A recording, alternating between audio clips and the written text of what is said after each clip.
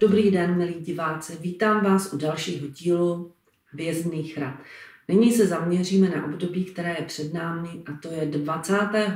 ledna až 2. února, což je takový krásný datum 2. 2. 2020. A prvním dnem tohoto období je pondělí 20. ledna, úterý 21. ledna a středa 22. ledna, kdy je cyklus luny prochází ohnivým znamením střelce. A to je vždycky taková aktivita, příliv energie, pohyb, chceme něco zažít, jsme společenští, chodíme prostě ven, cvičíme a tak dále. Starší ročníky by si měli tedy dát pozor na nějakou přílišnou zátěž v oblasti právě boků, holení i kolen a vlastně měli by se určitě vyhýbat operacem právě v těchto oblastech. Jsou háklivější. V pondělí 20. ledna je symbol žába. Žába, také se tomuto dní říká bláto, že se na nás lepí nepříjemné situace, nepříjemní lidé, máme být pozorní na všechno, co děláme. Ještě to první den pracovního týdne, takže ten začátek může být docela náročný. Tak opravdu vlastně se nepouštějme do nějakých věcí, kterým třeba příliš nerozumíme, nejsme si úplně pevní v kranflecích. A je to takový den, kdy máme spíš uh, si dávat na věci pozor, na všechno, co říkáme, co děláme, co podepisujeme a tak dále. V úterý je takovým symbolem uh, žezlo. To je taková silná energie, jangová, soutěživost. Jo, přichází energie spolu s tou lunou ve střelci, to může být den, kdy spoustu věcí dokážeme zvládnout. Ve středu, a to 22. ledna, je tedy krásným symbolem lotos, květ lotosu. A to je symbol u hinduistické kultuře vlastně rozvoj, rozkvět duše.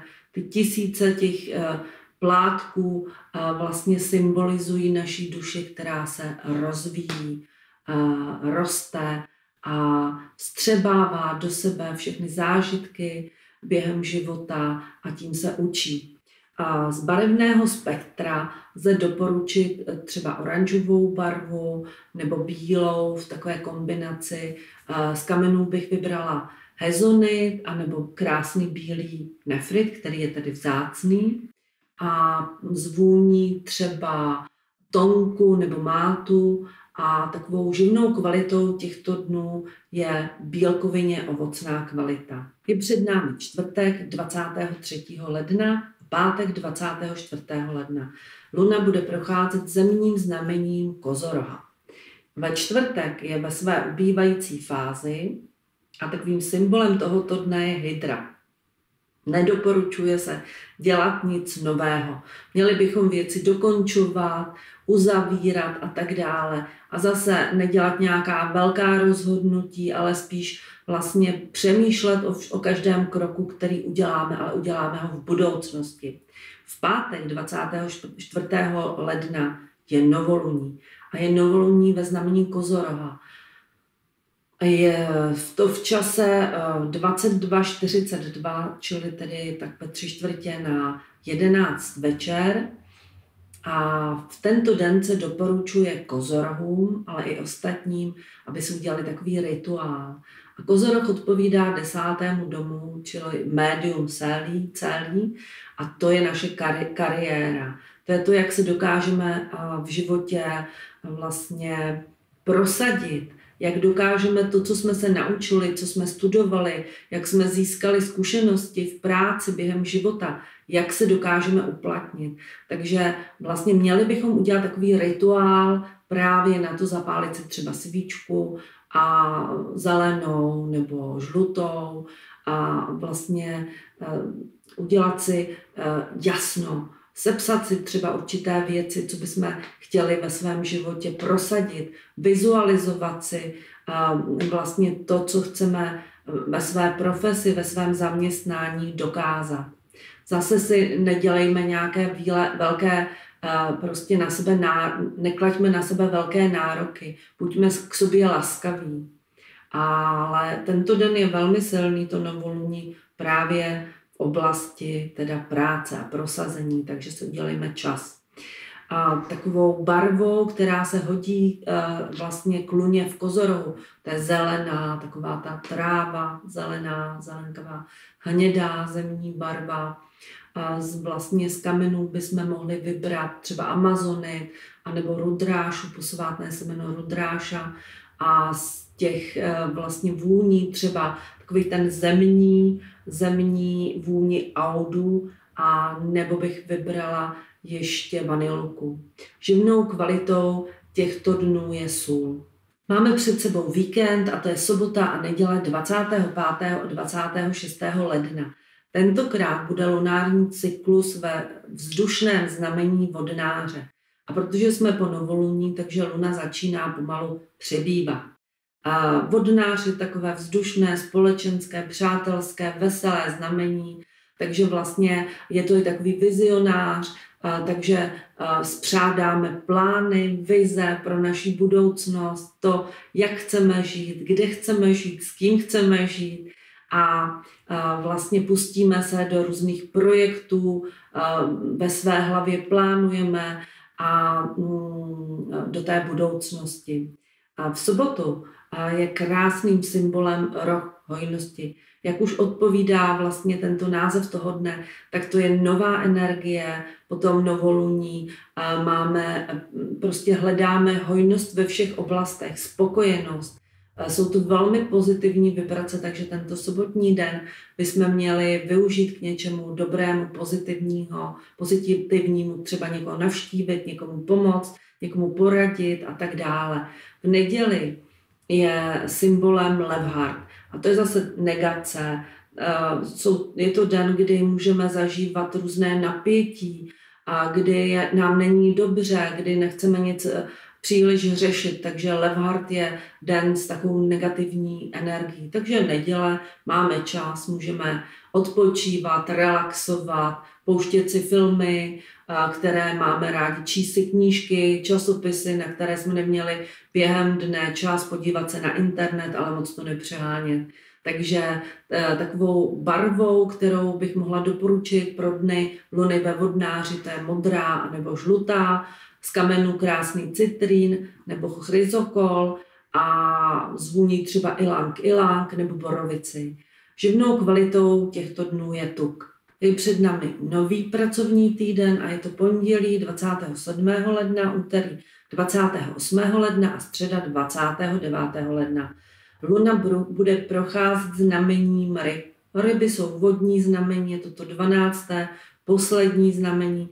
Tvrdí se, že vlastně ty ryby obsahují všechna předešlá znamení. Z každého, že mají kousek.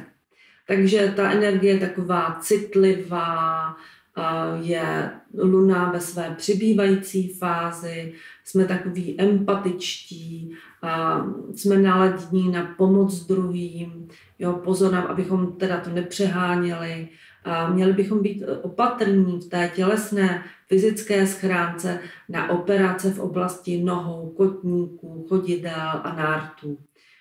V pondělí je krásným symbolem strom poznání nebo strom života. Takže to je takový duševní, duchovní rozvoj, rozhled, sbírání informací. V úterý je taky krásný symbol, vlastně to legendární zvíře mystické jednorožec. Také k nám tedy proudí snadněji, vnímáme vlastně energie, naše intuice je otevřená a ty vlastně informace z druhé strany přijímáme, čteme je lépe než v jiných dnech takže se můžeme eh, zaměřit na rozvoj, na studium. Ve středu 29. ledna je vlastně takovým symbolem jeřáb nebo také ibis a to se máme zaměřit na léčení, terapii duše eh, i těla. Je vlastně i takové léčebné procedury nebo léky, bylinky a tak dále na nás působí silněji, lépe.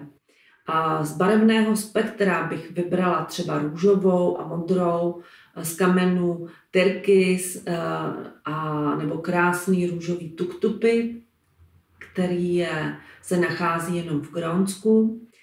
z kamenu, teda z vůní růži anebo ambru. Živnou kvalitou těchto dnů jsou sacharidy. A je tu čtvrtek 30. ledna a pátek 31. ledna. Leden je za námi. Luna v těchto dnech bude v ohnivém znamení Berana, čili ve své přibývající fázi. Můžeme pocitovat mnozí příliv energie, takovou soutěživost, chuť něco dokázat, zvládnout, dodělat. A máme takovou bojovnější soutěživou náladu, jsme aktivní. Měli bychom si dávat v těchto dnech pozor na vlastně na naše smyslové orgány, které jsou uložené v hlavě, takže bychom se neměli vystavovat hluku, nějakým změnám rychlým, teplotním, neměli bychom zírat dlouho do počítače, poslouchat, prostě zatěžovat e, svoje smysly. Měli bychom se taky vyhnout přemíře nějakého alkoholu, kávy a tak dále. A ve čtvrtek je takovým pěkným symbolem žezlo, to je zase ta jangová energie, síla.